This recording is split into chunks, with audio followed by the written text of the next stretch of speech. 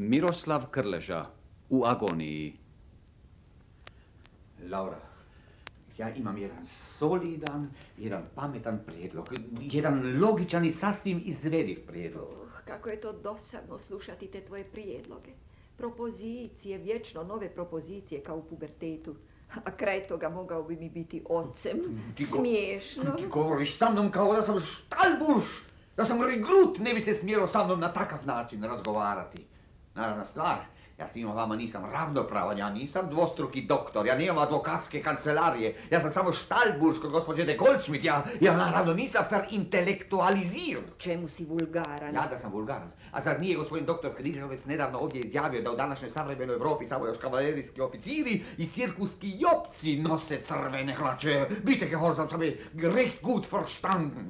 Ja, naravno spadam u kategoriju kavalerijskih oficira. Ich bin natürlich eine Art Zirkusaffe. I ja sam naravno vulgaran. Ti vrlo dobro znadeš da Ivan služio kod husara kao rezerve Oberleutnant i da je to mišljenje potpuno impersonalno. Ich bin auch Generalstochter und weiß sehr genau, dass ich manches überlegt hat.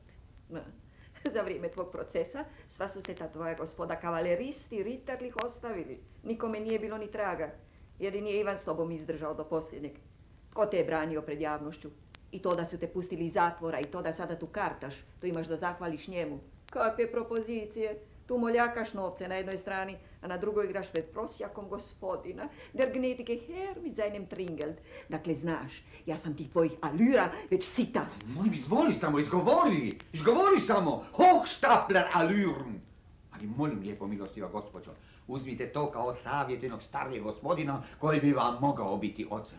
Ako je nešto vulgarno, onda je jednoga otpuštenog lepoglaskog robijaša psovati ne samo vulgarno, nego i gore od toga. To je bez srca, ja direkt herzlos!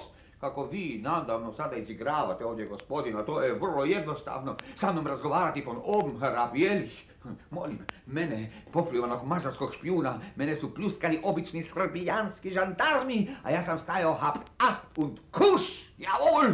Ali ni onaj baguš, ni onaj rešni, oni, ni oni kibli, a ni one pljuske, ništa mi nije tako iritiralo kao taj vaš način, milostiva gospođo. Ja, ihre Art und Weise, gnjege Frau Baronin, wird mich früher oder später ins Irrenhaus bringen. Molim, mene su vukli po sudovima, meni su dokazivali da sam špionirao, a to nije istina, jer ja sam samo ostao vjeran svojoj zakletvi. Molim, mene su vukli po reštima, sa mnom su postupali kao da sam kriminalni tip, ali sve je to prema ovog vašeg načina bilo ništa, vic, kako vi meni, vi ajne, hoh, volge, borene, pro protektorin ovdje objašnjavate kako je meni taj vaš gospodin doktor spasio egzistenciju, a da si ja komiš, ja direktne majnom! Lembahu, se ako Boga znaš, pa svaka riječ se čuje prijeko. Meni je jedno, hoće li se mene čuti prijeko ili ne, šta ima ja još da izgubim, ali ja se ne dam terorizirati.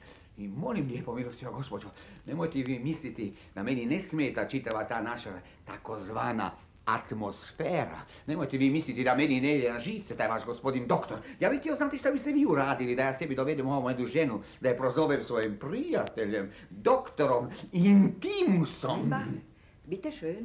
Da je tema između vas i mene bila aktuelna pred 15 godina.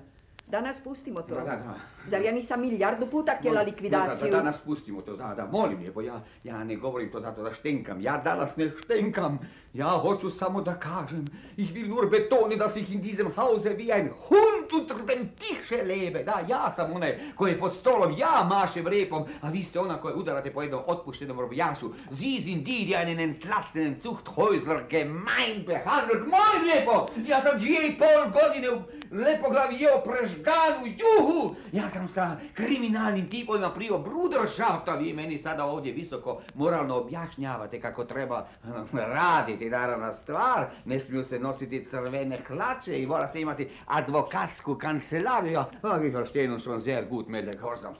Herr Oberstleutnant Lembach muss abtreten.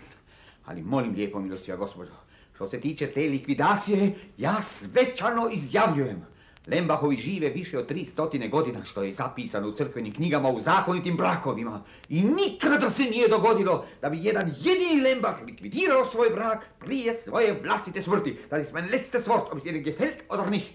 Mensch Gottes, verstehst du nicht? Du machst mich lächerlich vor dem Personal.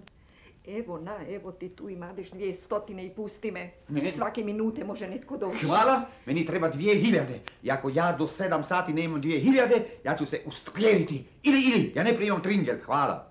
Dakle, jedno mogu da ti kažem. Taj tvoj ili, ili, to je meni sedma briga, mein verehrtester.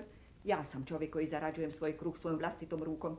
Und raubt man mir nicht alles, was ich verdiene. U ostalom uzmi na znanje. Meni je sve jedno hoćeš li se ti ustrijeliti ili ne. Verstehst du? Das ist mir vollkommen egal. Hier hast du 100, wenn du willst.